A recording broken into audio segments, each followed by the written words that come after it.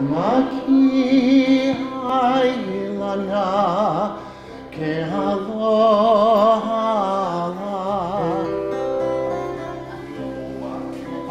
Aina hika ehu, ehu o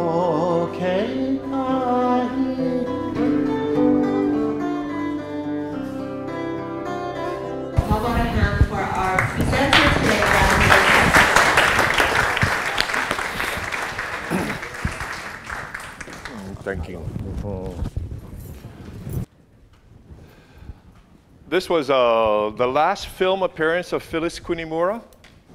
The, the last time um, Phyllis Kunimura was uh, on film, you know. The, I think it was very fortunate that the society was able to do that. Yeah, what timing, yeah. And uh, it wasn't very long after this video she passed away. And uh, yeah, to see her there and uh, memorialized is really cool. The same thing happened is when the society did the backyard music. The, shortly after, many of our great composers and musicians started to pass, and immediately these films became, you know, part of the legacy. And uh, the society, once again, uh, was fortunate to be able to record that and these people. Today is the 104th anniversary, or the 104th annual meeting of the Kauai Historical Society. And um, so I thought I'd go back to some of the history because um, we don't cover it too often. And, um, but it's a fascinating journey. Next one. May 7th, 1914 is our birthday. Normally, all of our annual, annual meetings are taking place in May, but I think May becomes a super busy month with everybody graduation and things like that. Um, they began to shift it into different parts of it. When the, uh, you can see the original mission statement of the society right here. Uh, still today, we're still holding true to all of that. The annual fee being a dollar, is still there, and you'll see a little bit later on at the end of the 1914, the, um, the treasurer's report. The um, big bank account, $6.60. Um, in those days, the board of directors was called the, uh, the board of managers. But here, right next to it, is a letter by Carter, who is the president of the Hawaiian Historical Society. He's also an ex-governor of Hawaii. And uh, in, there's many sentences here that are important, but one in particular is uh, most people forget that we're making history. One criticism of our society is that you can avoid um, that we are too largely devoted to reducing matter already in existence. And he's telling the, the founders of the society just because uh, instead of developing original matter, that was very important to everybody at the beginning, that the development of original matter, the society has stayed true to that for 104 years. And not only that, but uh, as you'll see, their organizational records are phenomenal. And uh, we'll go into it. Next one, please. Again, this is the Constitution, the first Constitution of the Kauai Historical Society. And some of the language is right here. These are the signers of the Constitution. They are charter members. And we'll go through the list the charter members and the honorary members. And um, already you can start to look at some of these, these names right here, all of these families. These are names that uh, many of you will recognize, but others, um, you need to find out who these guys are. Um, next one. These are still, as you're going down the list of the charter members of the society, right here, the, on this list, and it continues right there. Um, and then uh, into the active members. Next one. Here are the honorary members. Essentially, it's a list from 1914 to 1939, right here. You can see on some of the on the some of the people right here. Uh, love to be able to talk to you about every single one of them. The last one is Peter Buck. The, um, Peter Buck was uh, half Maori, uh, half Kiwi, and um, he was there at Gallipoli. Essentially, got into uh, uh, ethnology, wrote important papers, and became the director of the Bishop Museum. So the society had these relationships with these experts all over the planet, and I'll be showing you uh, a few of them, just to give you an idea of the, the scale of things. These, now the society has the minutes, it has the committee reports, the, um, it has um, all of the receipts and things, so I just thought I'd show you a few receipts of things back in 1914. But uh, the immaculate way in which they kept the records is phenomenal. After I made myself familiar with all of this material, I went to the Hawaiian Historical Society because I wanted to see the mirrors. We have their letters, but we don't have copies of our letters being sent out, and I wanted to see those. And it turns out the Hawaiian Historical Society has no records in any way, shape, or form of any of their minutes or organizational records in any way, shape, or form.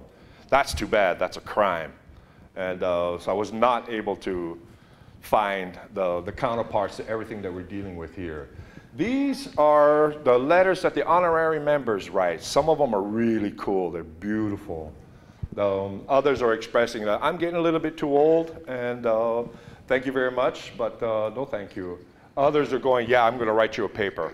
And uh, next one. So you can see W.O. Gulick right here. You can see uh, this one is uh, Lieutenant Halford or Master Gunner Halford. He was the survivor of the Saginaw, the wreck of the Saginaw. That was in 1873, Rex and Kure. I don't know how familiar you are with the story, um, but uh, they were there, I think, for like six months. They built out uh, a gig and sailed from Kure, uh, three of them. They crash landed on the, the reef at Kalihiwai. Two died. Halford is the only survivor. That set in motion for the kingdom to go up to Kure to go rescue everyone else and brought everyone else home. So this is a huge thing that goes on. And as you'll see a little bit later on, the, the society is in direct contact with these members of this expedition. So they're getting firsthand accounts. And in the society, we have firsthand accounts by the people on the Saginaw. Not only that, but we have a beautiful story. Um, one of the first stories in the Kauai papers. And then uh, Rowell, again, as you get into Rowell, they're one of the first missionaries. This is a descendant. You had Gulick, Rowell, Whitney, and, and others. And uh, next one. Well, this one, oh, we'll go back to that one. Uh, there was something in here, next one. The next one back, yeah. When I was in Wainiha, I got for Dr. Emerson. This is N.B. Emerson, father of J.S. Emerson. Also, uh, N.B. Emerson at this time is with the Bishop Museum. And uh, you can see he's collecting a hula of uh, the pua'au, or the pig, a hula on the, on the pig in Wainiha. And so that's in our society also. Many other hulas are there also. Next one. Again, um, the memberships for the charter members, they started in May 14th, 1907. By July 1, it closed. So essentially, there was the motion that, that created the charter members of the society. And uh, at some point, I think we'll, we'll be able to get all these names of the charter members, the honorary members, up on the wall. And then right there, you know, um, they decided to keep these immaculate records. Now, you had Elsie Wilcox, and we'll get into her in a, in a bit. And then right next to it is, you know, the receipts for the ledger books. The society kept superb records on every part of it. The um, next one. Now, this is a letter from Halford right here, but uh, we'll get to that in a moment. Now, Mr. Carter, again, he's the president of the Historical Society, and he's offering his library, which at the point at that time was better than the society. So again, um, this relationship with the Hawaiian Historical Society starts at the very beginning, um, and it's something that we still need to be maintaining our relationship with them. And at some point, we're going to have to remind them of uh, our history together. Also, at the same time, these guys publish a lot, and um, they do have a cool president right now. And then um, this is a letter from uh, Lieutenant Halford, and uh, of which you know there are many details in this. Next page. The, and it continues on right there. So I highly recommend anybody has the time to kind of go through our correspondence in minutes and the committee reports. And then um, the first officers, William Hyde Rice, J.M. Lydgate, or Reverend Lydgate, and Elsie Wilcox. This stays that way, if I think, for the next 12 years. The G.M. Lydgates, I think, passes away in 10 years from here, and uh, William Hyde Rice passes away in 1924. The Elsie Wilcox lives for quite a while. Now, Bob can talk about that for a while. The um, next one. Now, this one is interesting. Lucia Kamamalu Holman. It is something that crops up every once in a while. This woman was born uh, in uh, Waimea, 1820, 1821, and she is the first American lady or woman to circumnavigate the globe. Now, Kamamalu is a princess. This is Kikua Na'oa's daughter. And uh, in order for her to receive the name, especially that name, it had to be granted by the family. So clearly she has a, a connection to the, the highest ranking families of Hawaii. And in her possession is this beautiful whale tooth and a feather cloak. And I think that's part of the insignia that the family gave the, to Lucia. Now, the society is in, is in direct correspondence with this family, and so there's many more letters uh, in regards to her. But I think in terms of, in our archives, I sure like to know a lot more about this woman. I think her story needs to be born in Waimea, and she's the first lady to circumnavigate the globe. I wouldn't mind knowing a little bit more about it. And then, you know, Mr. Hofgaard, who is Judge Hofgaard, or Hofgaard's story in Waimea, the, also writes that he's familiar with the Ruggles home because she was born in the Ruggles home. It's in Makaweli side. The foundations are still there, and so essentially he's corroborating the story. The um, next one. Now, the, the object is for the members to be writing papers. Our Kauai papers, you know, really turns out to be a super treasure trove. Again, they're trying to develop original material. They're not trying to hash the, the rehash the old stuff. Even though it's forgotten, they created new materials. The society has published several books on the papers, but by no means have they published all of them. And uh, anyone wanting an introduction into Kauai, go through those. There's about six black books. It's in the 11 by 14 format, double space. But those books are, um, and those articles, you'll be blow your mind. You're there from all kinds of people, and lots of people you'll recognize. The, so these papers were being presented, and all of them ends up into the society as the permanent record. And then um, you can see Reverend Lydgate goes to Oakland to visit Halford. And with it with, comes this whole story of this visit with uh, Master Gunner Halford. The list of active members continues all the way up. Again, it's a list of who's who. I thought for we thought to uh, go through some of the names, but there's too much history in the society. Well, the point today is just to give you a brief overlook. That uh, early on, 1914, they decided to collect the Garden Island newspaper. In the society is every single copy. The Garden Island was started in 1904, but a fire in 1911 burned it to the ground. And so to, be, to find a Garden Island from 1904 to 1911 is rare. I've seen fragments of it here and there, but to find an original uh, 1904, good luck. Let me let us know. But I'm always on the hunt to, to, for those years right there, the early years of it. But since the fire, we have every single one of them, and it's a really it's a joy to pull them out and uh, just be able to see in 1915, you know, what the headlines were. The, um, it's a, it's, I enjoy it. Next one.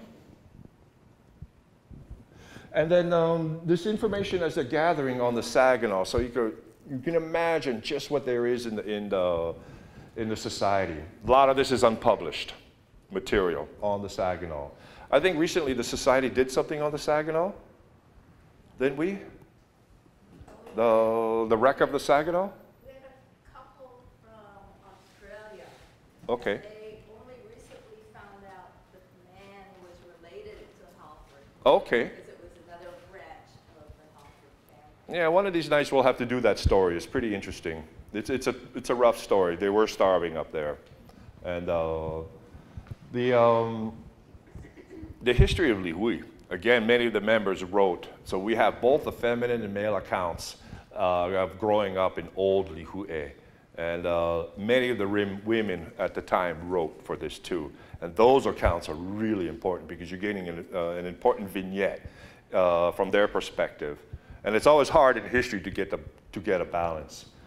But the, the women wrote for the society. And so we have quite a bit on the early history Bits and pieces have been published, but not all of it. We still have some gems.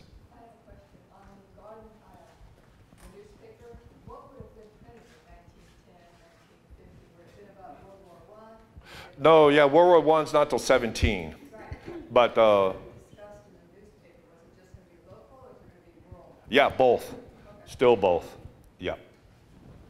Yeah, mostly it's Hawaii news though, but every once in a while they will have um, some international bits. But I'm going to get to World War One on Kauai just very briefly, and that's a question for Andy Bushnell. The yeah, I will. and then um, now here's uh, Josephine Wundenberg King.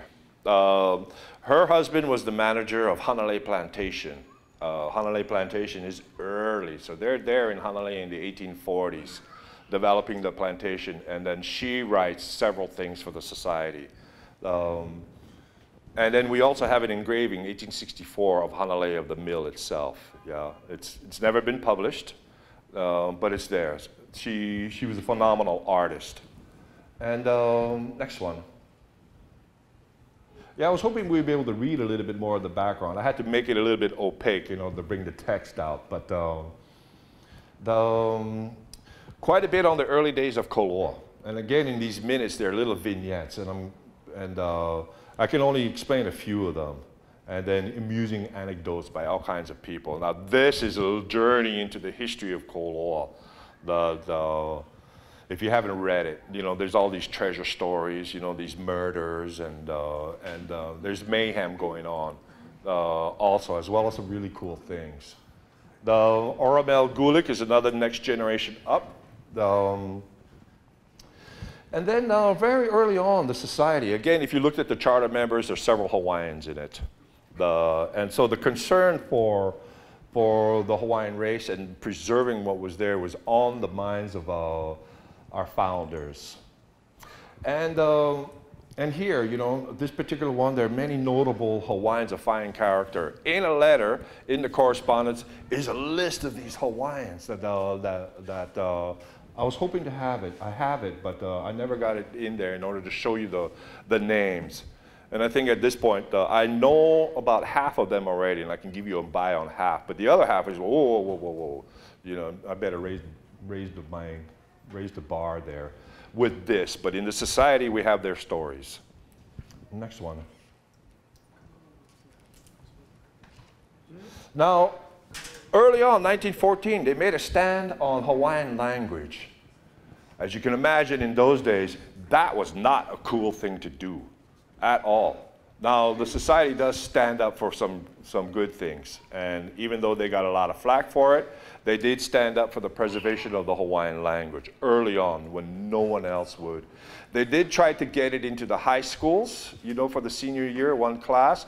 They ran into a stone wall. And uh, they tried to get Kamehameha schools to at least teach Hawaiian, but they wouldn't do it. And they tried to do it through the, through the colleges. No one was going to teach a course in Hawaiian.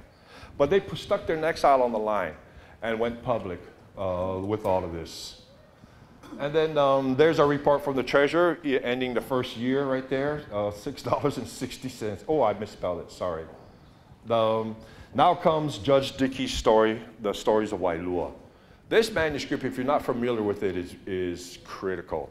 And essentially, it sets in motion the first of the main advocacy that's coming up. So they're just beginning to warm up, and now they're going to work. Next one.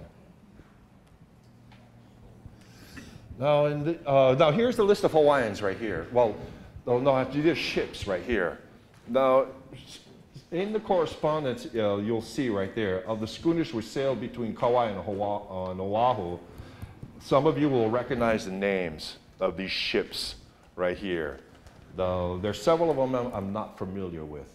But uh, I don't think the society has uh, a bio on any of those ships. We have a little bit of background, but do you remember, you know, in terms of the, this early shipping, so we still have this to do in a sense that anybody interested in the maritime history of this island, go to town with this. There's your list of ships. Uh, having, um, most of them didn't keep journals, or most of them, the journals never survived. Andy, were these mostly sailing ships? or Yes, sailing Not ships. Steam engines, yeah. No, not steam engine yet. These are all sailing ships right here. Early 1820s uh, on up. And then, um, but I'm sure you recognize some of them. I know Andy does. see them from here. Oh, you can't. Oh, that's the worstest. The next one. This is when the society is starting to move on preserving Wailua. They take the first of their big stands in terms of preserving Wailua. And the reason why, one of the big reasons why the society was formed was that even in those days, they were, they were seeing Wailua getting hammered. And they start and set out to go to work. And uh, so essentially coming out of uh, Lyle Dickey's story, the interest really gets up and the ball starts to roll. The, um, you can see the society in uh, correspondence with Honolulu Monumental Works the, um, for the, the quotes on, on the type of a marking they were going to be doing. It ends up into a brass plaque, but there's many steps before even that happens. Next one. This is uh, this letter here is from Brigham right here. He's with the Bishop Museum. The, um, and uh, he's writing for the, the society on his experiences in, in Hanalei. This particular scientist right here goes on to write numerous things. It has quite the career. And again, another luminary of its day right there. The society has his, uh, the Featherworks, the Hale, the Tapa, uh, some of the big monograms, and some of you are familiar with the Bishop Museum, uh, 1900s monograms. They were the big, large folio books and uh, we have them in the society. Thomas Thrum. Thomas Thrum is famous, famous uh, historian. Um, he's the one that does the memoirs of Fornander, all of those volumes. He's the one who also does all of the, um, the almanac. The society has every single almanac, uh, so you can actually go in and, and take a look at it. I think you're about 1870s forward. And then in it, you can see every single ship arrival, all the statistics, how many people died, who arrived, and uh, things like that. Also in it are articles that stretch through so many decades. And there's some articles of some really high quality. That's in the society. Um, you can pick and read one anytime. Next one. Here's another letter of Thomas Thrum. He's at the time writing about the Heiaus uh, in, um, in the Hawaiian Islands. So he's actually in correspondence with the society in terms of identification of our heiaus. He's already come out with the main list in 1907 and 1908, but he's still continuing here in 1915. That it takes him a while, and then you can see already that the, the elements that are still missing in Hanalei that Thrum is still trying to gather. Society has, was in correspondence with uh, the very top of the, the Catholic Church and then try to organize the history of it. The, um, in our files, we have huge amount on, on this. Next one. This is their letter right here. And essentially, uh, on this side right here, it's listing every single Catholic priest on the island from the very first one. The, the last year is 1915. Uh, so it's uh, 1840s uh, to 1915. So there's a list of all the Catholic priests and quite a bit of detail that are straight up primary source material uh, for this story. Next one. The Brown Estate, or the Wailua Falls Estate, uh, was a famous residence at the, at the Wailua Falls. And um, here there's a kind of a funny story right here of them dismantling this house and then rebuilding it in Kawaihau. And, uh, but the whole, but uh, it took such a while to, to, to, to move the house that they, the sides of the roads were just covered with all of this material. And, um, and a reference is made to that. In the middle of the, in the minutes is this little vignette of Deborah Kapule. Now, in the society, we have quite a bit of material of it. Now this one right here, why isn't anybody quoting it? And um, at Deborah's, uh, Deborah's house at Wailua, uh, I remember her as a very tall woman dressed in a black ku. Her grass house was immense and a double decker, timber being laid across about eight feet from the ground, to which covered with mats served as a sleeping place. Both ends of the house were arranged in this way and as to Hawaiians always sleep with the head out, that's a curious statement. The, the, that Hawaiians are sleeping with their heads out. But the image is, is that um, The, the two rows of sleeping heads, which we saw when we awakened in the morning, were an amusing sight. A particular noise was heard during the night, uh, and in the morning they turned out to be goats. Um, but this little vignette of our house, of Deborah Kapule's house, and uh, is, is an important little, little scene right there. If you add it to the other ones, I think you're really developing this picture of Deborah Kapule.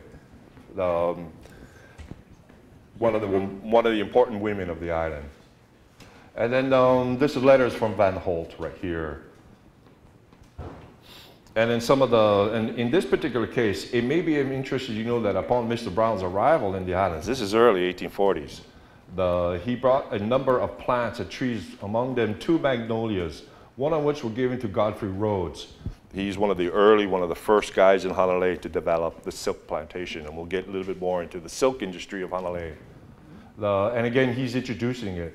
But he has two magnolias, and then the other one was planted in the grounds near Wailua Falls. She also brought the heliotrope, Easter lilies, and uh, the ranta.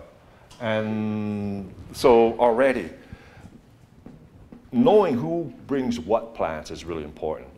Uh, much later on, uh, the society uh, uh, incorporated the papers of the Hui Manu Society. The Hui Manu in the 1930s essentially is the ones who brings in the Shama thrush, the Chinese thrush, the, the Mangito bird, um, and others, and the Shama, all of that. We have the receipts and where in China they were taking, which ship that bird traveled, and the date those birds arrived here on this island. So to give you an idea the immaculate detail of what's happening in, in these records. The next one.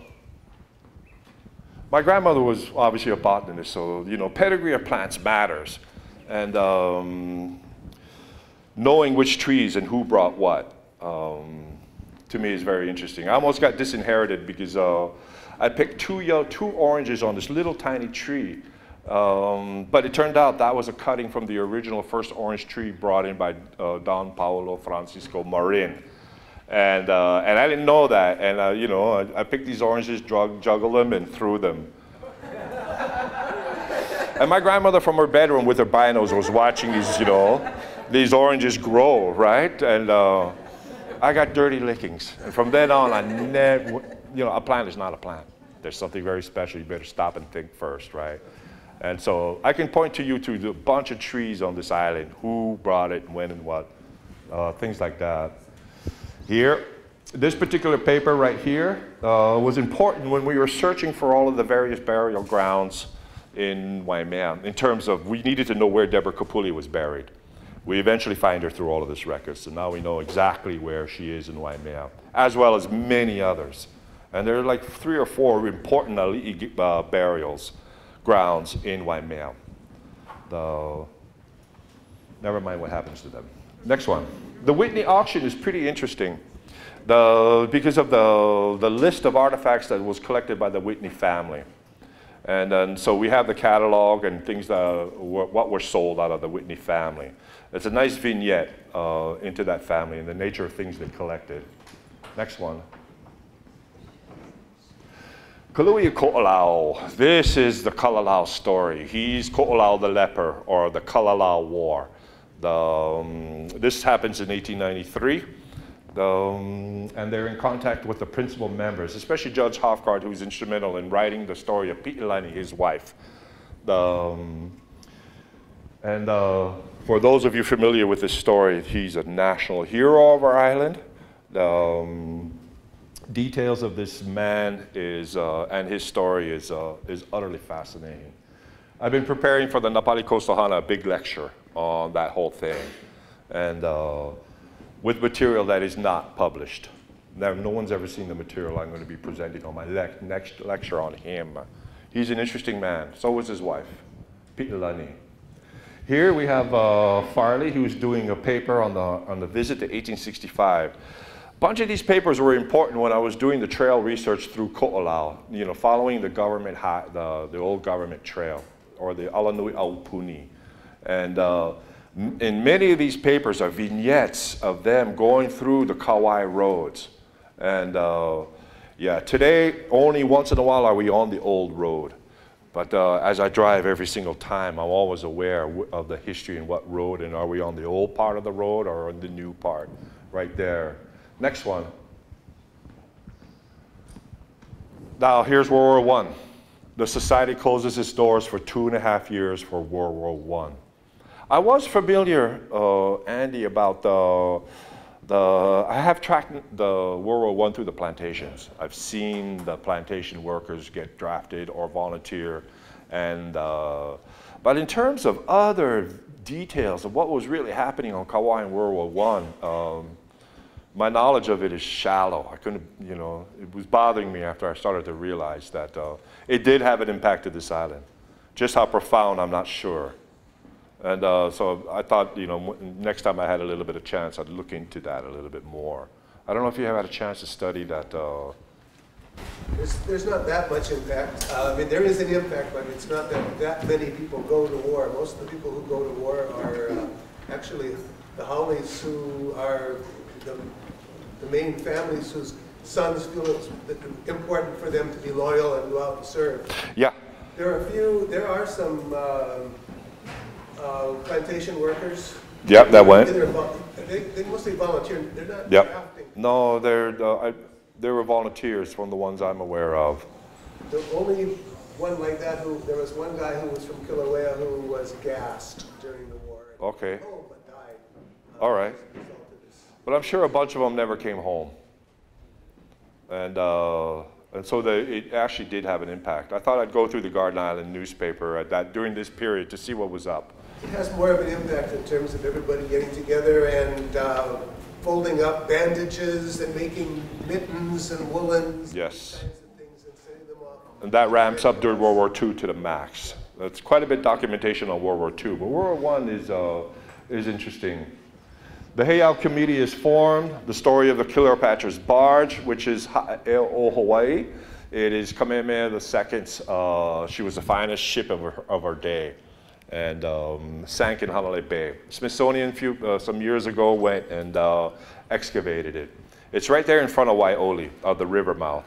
So she wrecked by the pier, and the currents brought her and beached her. And um, two, 3,000 people were gathered, r- ropes were tied to the mast, and they were trying to pull the ship up uh, onto the sand. And uh, there's this whole story um, about the chance they were using in order to haul the ship. The mast breaks, the ship slides back down, and we're done. But coming out of that are cannons. I I'm mentioning the cannons because you know we still start to we still hear it. Just not too long a week ago, I heard uh, again. You know, last month I heard someone else about cannons. Supposedly, the, the main story is that when they were decommissioning the, the Russian fort in uh, 19, in 1830s or so, one cannon fell over and is somewhere in the bay. And so that has sparked out, you know, since that moment, exactly. Now, in our minutes right here, we have the, now we have uh, Valdemar Knudsen, who is in charge, and he was there that day. He was in charge of loading the ships. And so now we're getting primary source accounts to that. No mention of dropping any cannons uh, in any of that. Also, there's many cannons running around Kauai. And then as we go through, you'll see the story of cannons. It's, it's on a lot of people's minds. So I thought that the, the, some of the details in terms of the other cannons that were running around, but we'll get into that in a bit. Next one. Here's another letter from um, Brigham. Uh, I'm not going to quote that one right now. Um, now, this one right here, Commissioner of Public Lands, right here. Now, this is made, dated uh, May 25th, 1922. I beg to acknowledge receipt of resolution passed by your society in regard to the addition of Poliahu Park.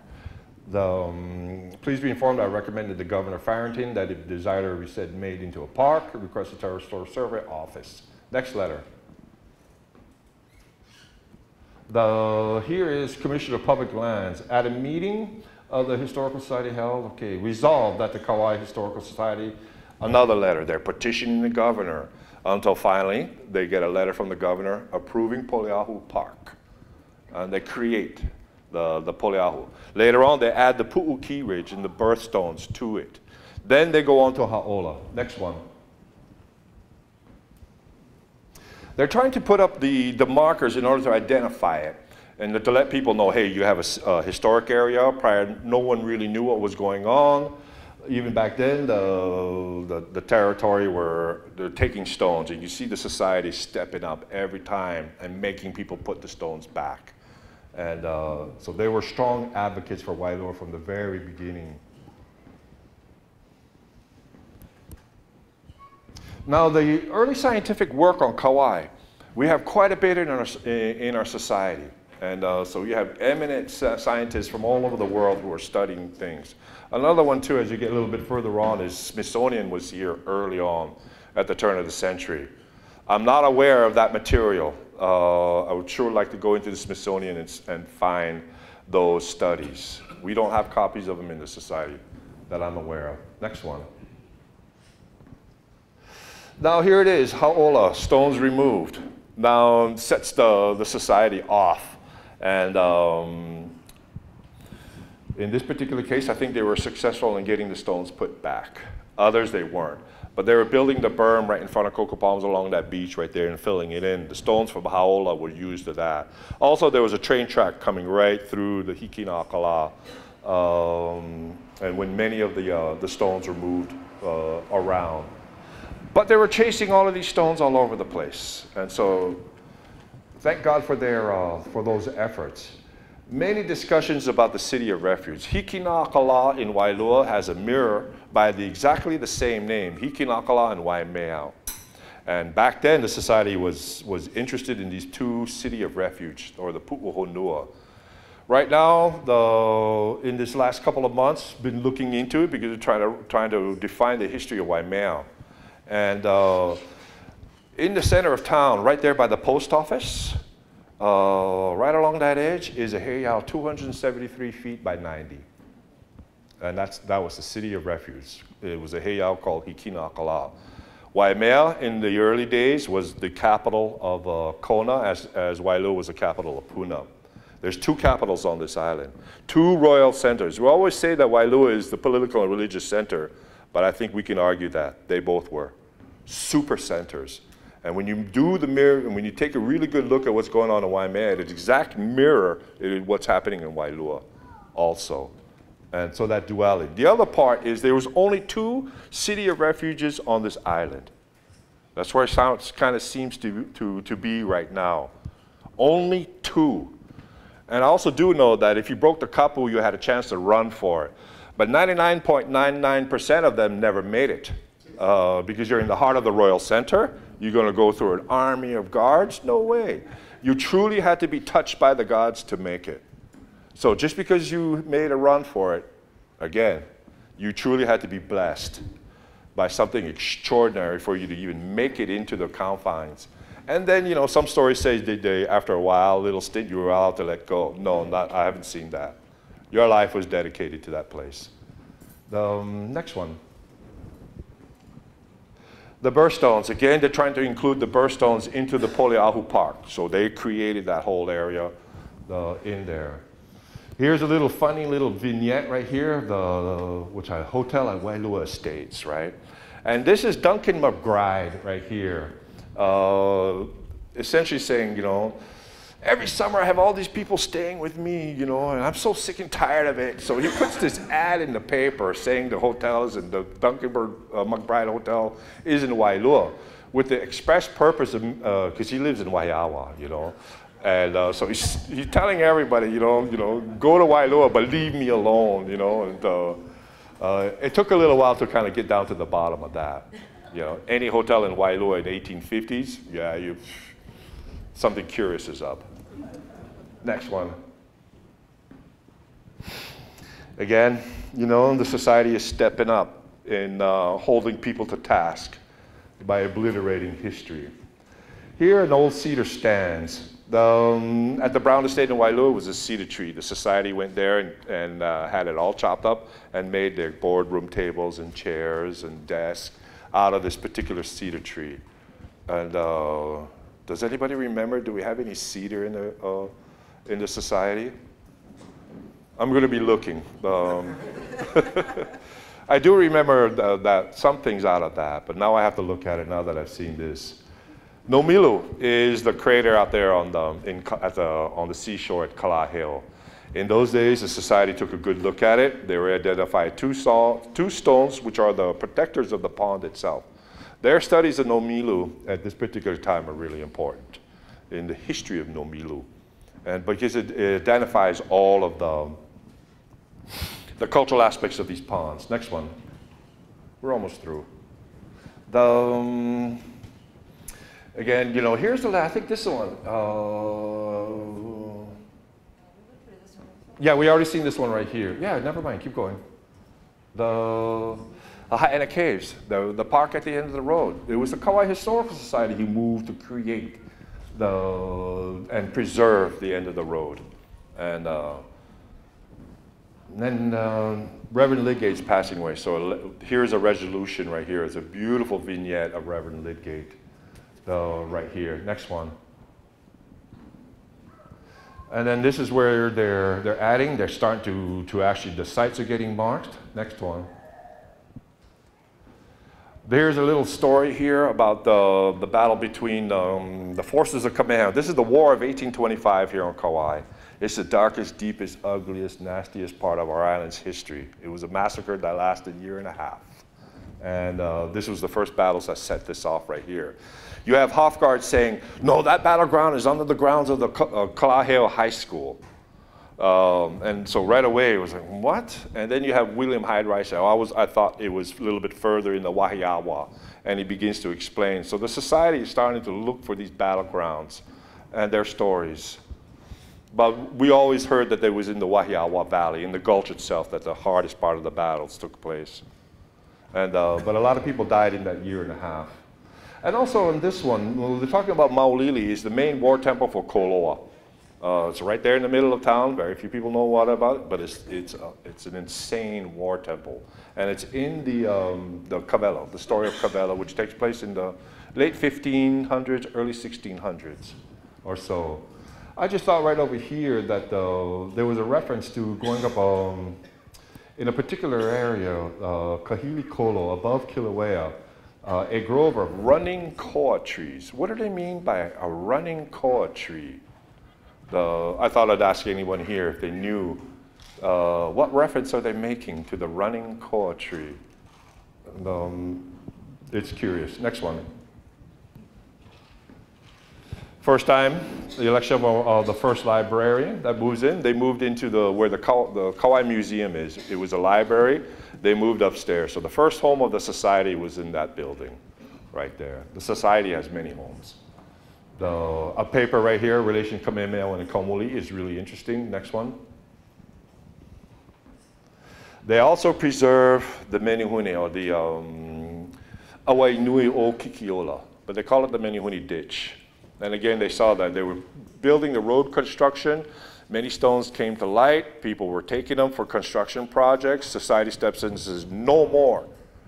And we are lucky because that's one of the greatest engineers we have to our name as the people of Kauai. And, uh, and although, you know, that wall used to be 20 feet tall and we're only looking at it this high now.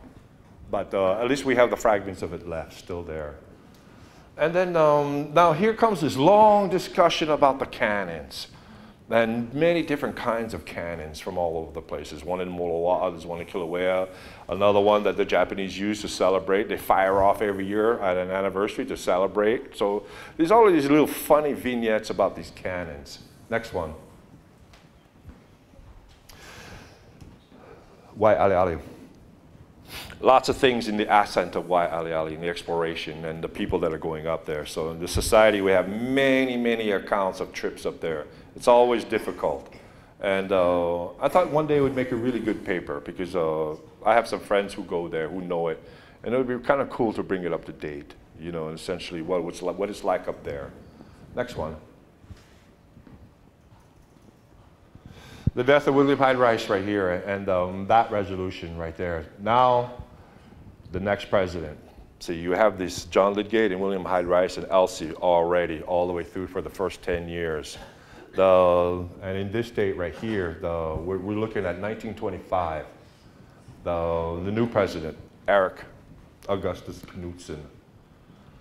Now, the society right here is uh, moving to preserve Ka'ulua which is the heiau at the end of the road in Ha'ena. And again, you know, the fact that we still have that has everything to do with the society. Next one.